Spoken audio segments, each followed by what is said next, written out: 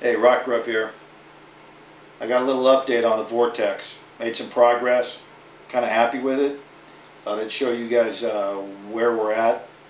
Got the damn carburetor and everything rebuilt, the hoses, some of the fittings and connections. I had to redo that.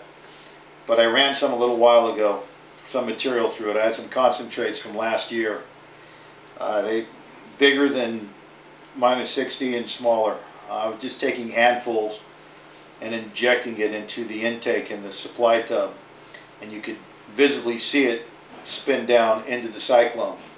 I know it's a small representation of what we would be doing in the field, but I needed to see, you know, does this thing work? Does it have potential? Do I want to keep going in this direction? I've been getting a lot of feedback on YouTube, a lot of the mining forums, and uh, I appreciate all that. I think we're getting somewhere though. I think this is uh, pretty promising.